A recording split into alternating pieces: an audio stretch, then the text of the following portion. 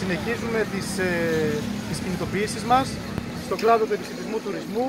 Εξακολουθούν εκατοντάδες χιλιάδες συνάδελφοί μας να εργάζονται χωρίς σύμβαση εργασίας, έχοντας αυτό ως συνέπεια να πληρώνονται όποτε, όταν και όσο θέλει ο κάθε εργοδότης και αντίστοιχα το ωράριό τους να γίνεται λάστιχο ανάλογα με τις ε, διαθέσεις της ε, εργοδοσίας. Έχουμε εκατοντάδες χιλιάδες εργαζόμενους να παραμένουν σε καθεστώς εκτός βαρέων ανθυγιεινών, δηλαδή οι καμαριέρες να σακατεύονται στα ξενοδοχεία στην οροφοκομεία, οι μάγειρες να καίγονται στις κουζίνες, οι διανομείς να σκοτώνονται στον δρόμο και όλοι αυτοί μαζί και με τις υπόλοιπες ειδικότητες του κλάδου βέβαια να μην παίρνουν βαρύ ανθυγιεινό. Έχουμε την ανασφάλεια και την αβεβαιότητα για δεκάδες χιλιάδες εργαζόμενους που είναι να φύγουν στη σεζόν και δεν ξέρουν αν θα πιάσουν δουλειά φέτος το καλοκαίρι. Έχουμε την ακρίβεια η οποία τσακίζει το εισόδημά μας, η ακρίβεια η οποία βέβαια είναι και αποτέλεσμα συγκεκριμένων πολιτικών της κάθε κυβέρνηση τα τελευταία χρόνια και των πράσινων επιλογών της Ευρωπαϊκής Ένωσης. Μέσα σε όλα αυτά και να προσθεθεί το ότι οι εργοδότες τα τελευταία δύο χρόνια με αφορμή τον κορονοϊό απλόχερα πήραν οι φοροαπαλλαγές, φοροαπαλλαγές, επιδοτήσεις, είχαν το δικαίωμα να απολύουν και εμείς να ζούμε με τα 534 στο συνεργασία, τα δουλεμπορικά να μπαίνουν σε ξενοδοχεία και σε εργαστήρια ζαχαροπλαστικής και άλλες ε, μορφές ε, ελαστικής απασχόλησης. Σε αυτά εδώ πέρα εμείς έχουμε να απαντήσουμε, κλιμακώνουμε τη δράση μας και δίνουμε μαχητικά παρόν. Δηλώνουμε ότι παλεύουμε για κλαδική σύμβαση εργασίας, πενθήμερο, 7ωρο, επαναφορά των βαρέων αμφικοινών, προστασία του εισοδήματός μας, άμεση επαναπρόσληψη όσων έχουν δουλέψει σεζόν. Ε, να προσληφθούν δηλαδή άμεσα αυτό το καλοκαίρι.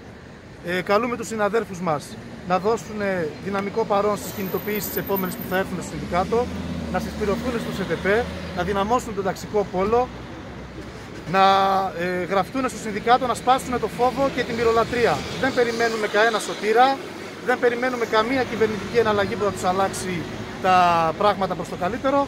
Δεν περιμένουμε κανέναν αυτόκλητο σωτήρα που με μαγικό ραβδάκι μέσα από το συνδικαλιστικό κίνημα θα αλλάξει τα πράγματα. Πρέπει να πούμε εδώ πέρα και να τονίσουμε το εξής, ότι ειδικά οι εξελίξεις τώρα τελευταία στην, Ουκρανία, στην Ουκρανία δείχνουν και τις επιλογές της κυβέρνησης, τη εκάστοτε ελληνικής κυβέρνησης, ότι η επιλογή σε υπερεαλιστικό μπλοκ, το να συμμετέχει εκεί πέρα, θα έχει άμεσο αντίκτυπο και στη ζωή και του δικού μας λαού και του Ουκρανικού και του Ρωσικού λαού. Καλούμε επομένως συναδέλφους μας, εκτός από τα εργατικά τους δικαιώματα να διεκδικήσουν να, σταματήσουν, να σταματήσει ο πόλεμος, να σταματήσουν οι στρατιωτικές δαπάνες. Βλέπουμε πόσο εύκολα οι κυβερνήσεις βρίσκουν λεφτά για τον άτομο. Ήρθαμε εδώ μαζί με τα σωματεία μας να παλέψουμε για τα αυτονόητα. Αυτονόητα που εδώ και χρόνια είναι, δεν είναι λιμένα. Που θα έπρεπε να είναι ιδίως για το δικό μας το επάγγελμα το θέμα ας πούμε, των βαρέων και αντιγυηνών. Με, τα, με τους 50 νεκρούς τα τελευταία 5 χρόνια ούτε αυτή η κυβέρνηση, ούτε η προηγούμενη κυβέρνηση και ούτε κανένας δεν μας έχει απαντήσει στο πάγιο αίτημά μας για ένταξή μας στα βαρέα και αντιγυηνά. Ζούμε σε μια κατάσταση που μπορούσαμε να, πούμε, να παρομοιάσουμε εμπόλεμοι. Έχουμε κάθε μέρα, κάθε εβδομάδα έχουμε τραυματίες, έχουμε νεκρούς και δεν έχουμε καμία απάντηση από κανέναν. Επιπλέον ζητάμε επιπλέον μέτρα ατομικής προστασίας να παρέχονται και από τα καταστήματα και από τις εταιρείες και ε, το ΣΕΠΕ να μπορέσει να, να στελεχωθεί και να κάνει τη δουλειά της στους ελέγχους που θα έπρεπε να γίνονται. Τα κουτιά που δουλεύουμε, που κουβαλάμε τις διανομές πίσω, κανονικά δεν είναι νόμιμα αυτά. Είναι πλαστικά κουτιά, σκληρά κουτιά που σε περίπτωση ατυχήματος από αυτά τραυματιζόμαστε. Θα πρέπει να αντικατασταθούν με μαλακά κουτιά που να τηρούν τις προδιαγραφές.